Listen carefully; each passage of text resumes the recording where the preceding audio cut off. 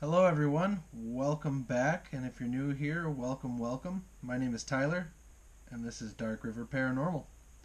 So, I have a lot of exciting things to get into today. It's why I'm not in a location investigating. Um, I don't know if you guys have noticed, but it's been incredibly cold and icy and snowy and everything else. It's made it kind of hard uh, because a lot of the locations I have so far are ones that I can't get trespass or trespassed off of, and ones that I you know can go to publicly. Um, other locate like my first investigation, that one is one that you know I can only go there so many times and get so much. I could probably go there every time and get something, but it's all going to be about the same and not very uh, eventful. So, I've been doing a little bit of research. Actually, uh, what ended up happening was I fell down a rabbit hole on uh, Sunday afternoon and uh, yeah, so what I found was extremely interesting. We're going to start out, I'm going to present a little clip here. Those of you from Quincy, comment below if you ever heard of this. Um, I moved to Quincy in 2004. I've lived here for 17 years. Never heard this story. My wife told me that uh, this Ron Brown guy was a, uh, a news anchor here in town for I think eight years or something like that, and then he moved away. Um, but yeah, uh, credit for this video going forward goes to Ron Brown Stories. He's got a YouTube channel, hasn't posted in a long time, but uh, yeah, hopefully you guys enjoy this video. Uh, it's about three minutes long, and then I'll continue after it.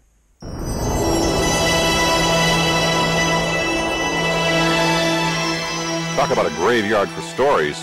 There's just one community in the world that can lay claim to having dug up more ghost stories than any other. More reports of devil sightings, wandering demons, and, well, just unexplained supernatural things. With over 16,000 sightings and still counting, the scariest place on earth, believe it or not, is right here in Adams County. Ghost stories are just good stories to start with, and that's, I think, the important point about it. Quincy University professor John Schleppenbach is the curator of the largest collection of ghost stories from a single area in the world, and that community is Adams County. Thousands of first-hand account stories were collected over decades by this man, Harry Hyatt. The spectacular Hyatt Folklore Archive is housed, in a secure location of course, at Quincy University. In the Hyatt collection, the undead walk and evil spirits rise. Now, whether you believe that or not, it's still pretty convincing evidence that at one time in Adams County, belief in the supernatural was a very natural part of life. And the stories continue to circulate today. Harry Hyatt hated burying a good story. Like the one about the old rebel house on 2nd and Vermont in Quincy. It was secretly used by the rebels during the Civil War, and then after that it was said to be haunted. And one night in particular, there was a loud knocking at the door, and then someone or something pushed it open, even though it was locked tight. And in the doorway stood a demon, eight feet tall, with red skin. Those who saw it say they were sure, even 60 years and 60,000 nightmares later, they told Harry Hyatt there was no doubt. The devil himself came to Quincy that night.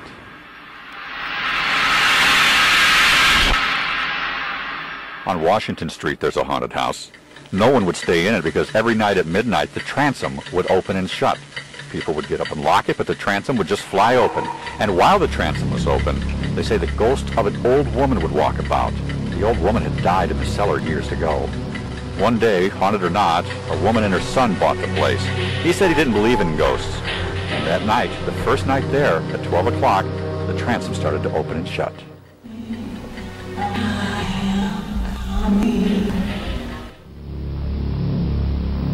The son heard something, but he didn't know what, so he went out to take a look.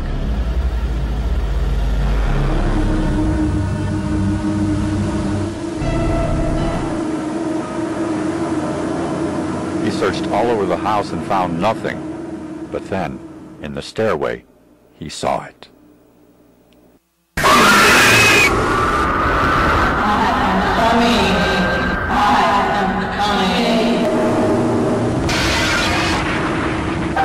Said, I am coming, and the man who said he didn't believe in ghosts said, I am going. He left and never spent another night there. So everyone, what did you think of that video? I thought it was very interesting. The uh, dramatization of the situations were kind of funny, especially uh, seeing how people could dramatize things quite a bit differently now. But very interesting. 16,000 stories, paranormal, folklorish stories, have been obtained in this area. That blew my mind. I mean, I already know that there's haunted places in Quincy. Never thought it would be that huge. But I mean, the paranormal is everywhere. You never know. So, I uh, ordered that uh, Harry Middleton Hyatt, I ordered his book called Folklore of Adams County. Uh, I'm going to read through it. We might have a little bit of a Holzer Files deal here where I can look through some of his things and reinvestigate some of the locations in his book. Um, I have also, this is what makes this exciting, I talked to the QU, Quincy University Library, and they told me that I could have access to whatever files obtained by Harry Hyatt over the years pertaining to Adams County.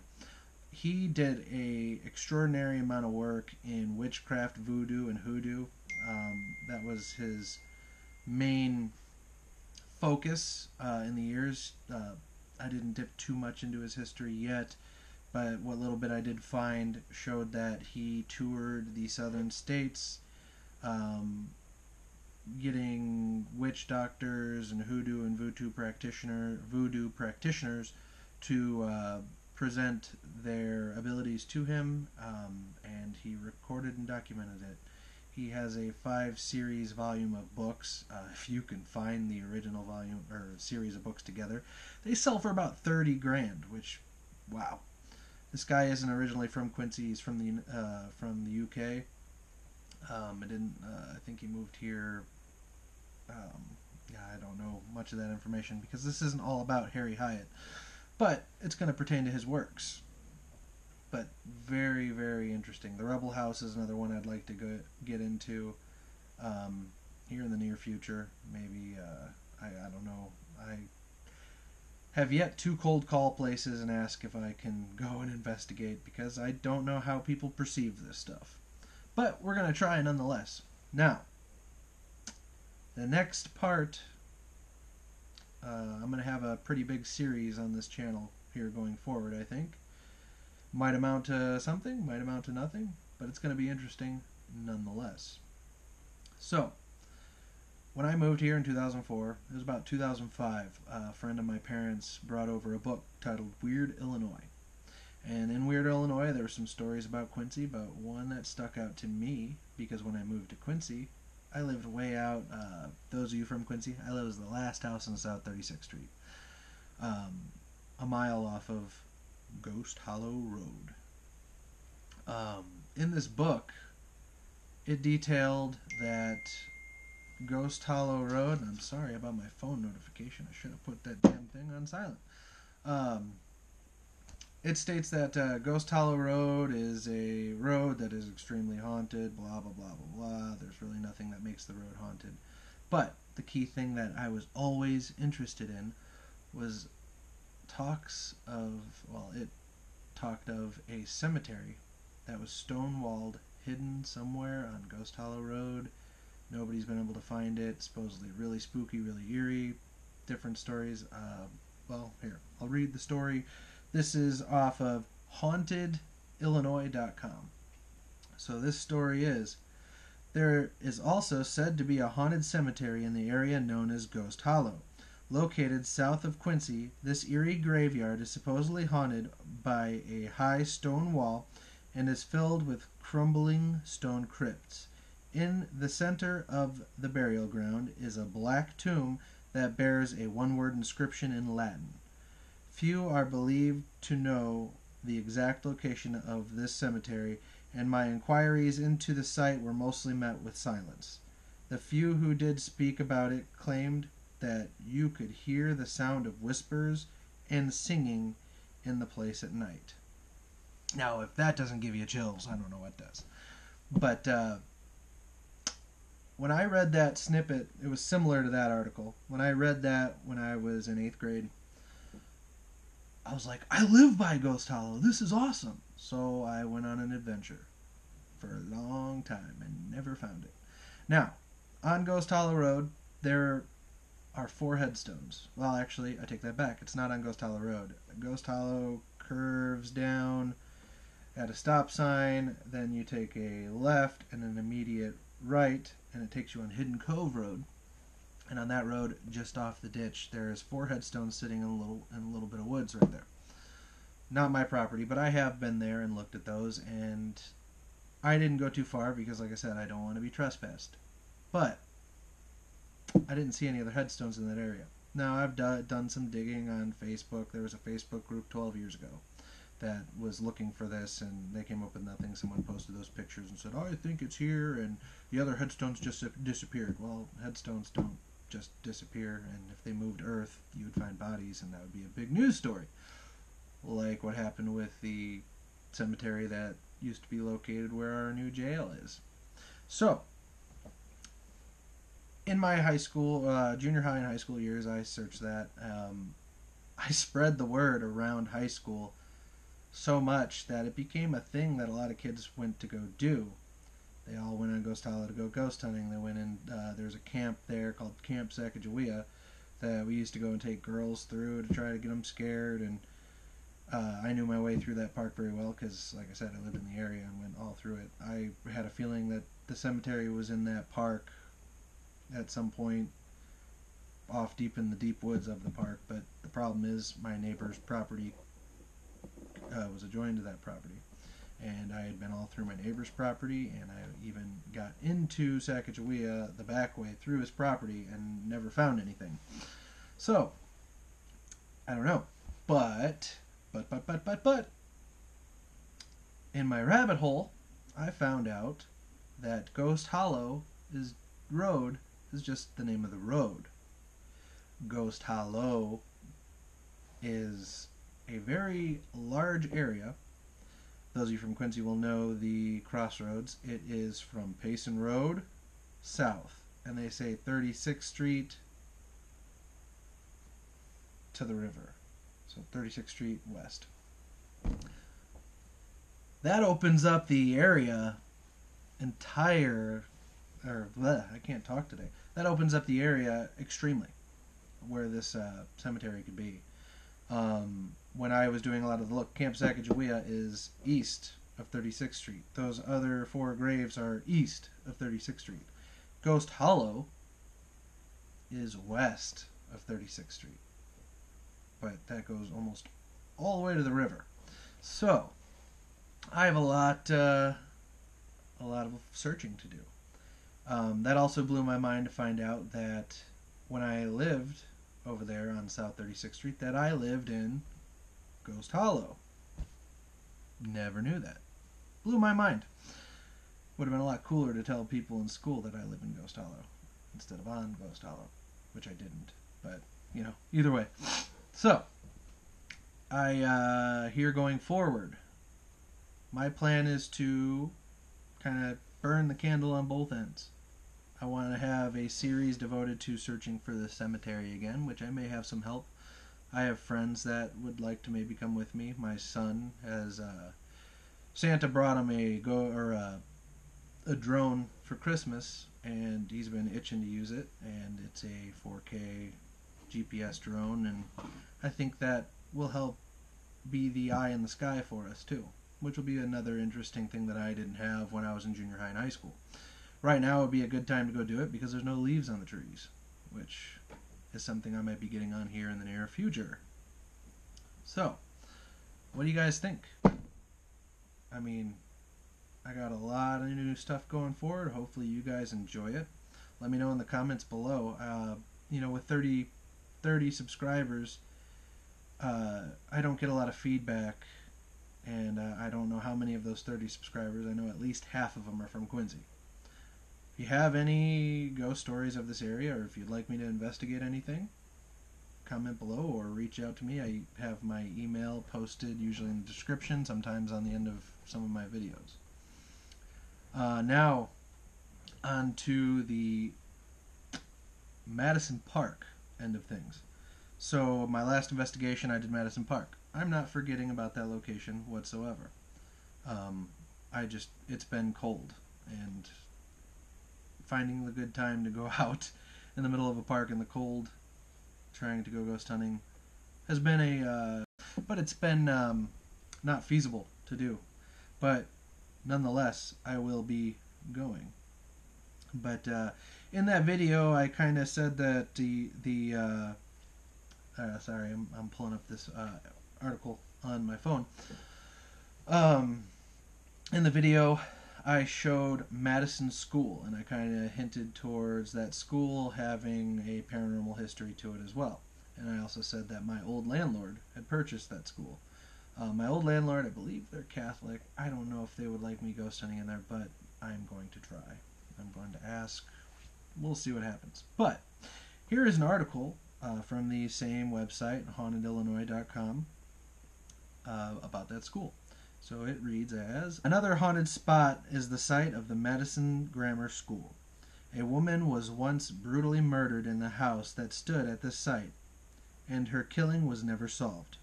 Residents who moved to the house were unable to remove the bloody evidence of the crime from the oak floorboards. They reported many strange and unexplained sounds in the house from doors opening to that of a body being dragged down the steps. It was not learned until later that the woman who had been killed in the house had been slain on the second floor and her body dragged downstairs and then stuffed into a small closet. Finally, the house was torn down. The school that was built at or the school that was built on the site is also believed to be currently haunted, and some claim that a mysterious fire that broke out here in 1982, almost destroying the school, was paranormal in or- origin.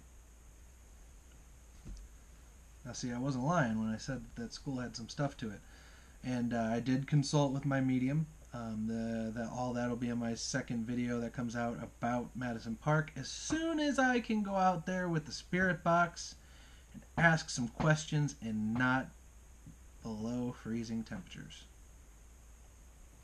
But hey, it's ghost hunting, right? Well, like I said, if you guys are enjoying my content, let me know in the comments below. Oh, another thing. Uh, I had a video, doesn't have very many uh, views on it, but a video where I use the spirit box at my house. Those of you that have came onto my channel later uh, after recording from Woodland and reinvestigating my second or uh, my first uh, paranormal investigation, uh, that video was mainly to see if anything has followed me home. Um, I had reason to believe that the spirits from Woodland followed me to the Dollar General that I investigated, my, my first investigation. Um, so I wanted to rule out that the stuff did or did not follow me home. I thought I may have had some responses, but I really didn't believe anything followed me home, nor do I believe that there was many responses on there that were credible, but I wanted to put it out there. My whole thing about this channel So I want to promote the truth, and, you know, if you guys don't think it's paranormal, tell me. Tell me about it. I'm open to criticism. I don't want to be that guy that people think fakes this shit because that is like I said in my first few videos that I made, that is what probably pisses me off the most about the paranormal is so many people fake it for money and views and it's very disconcerting. Um, the paranormal is real. Uh, I went into this hoping that it was real, but I lowered my expectations and it surprised me. And that's why I'm doing this. And it excites me even more to find out that in that video, the, the clip that I played uh, on, on this video, that that uh, Harry Middleton Hyatt and the guy who curates all of the uh, archives that are in the uh, university they claim Quincy or Adams County to be the most haunted place on earth. I don't even know what to say to that. But